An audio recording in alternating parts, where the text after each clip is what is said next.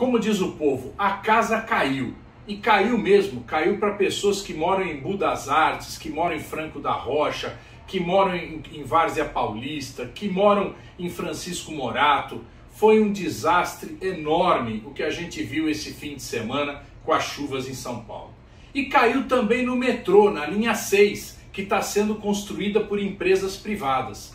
A casa caiu para o João Dória, que é uma pessoa que governa o estado de São Paulo, mas só pensa em duas coisas: vender o nosso patrimônio e ser candidato a presidente da República.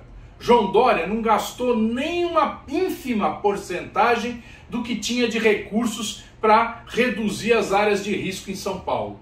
E privatizou a linha 6 do metrô. Privatizou inclusive a construção da linha que agora não houve nem institutos que tinham conhecimento do subsolo de São Paulo. O Instituto Geológico de São Paulo, a Emplasa, que foram extintos pelo João Dória. Conhecimento aprofundado ao longo de dezenas de anos. Esse é o resultado da cabeça de quem só pensa em privatizar. Nós temos que parar esse carro. Temos que ganhar o governo do estado de São Paulo para ter um governo que realmente cuide do povo de São Paulo, cuide daquilo que as pessoas mais precisam e cuide de quem mais precisa.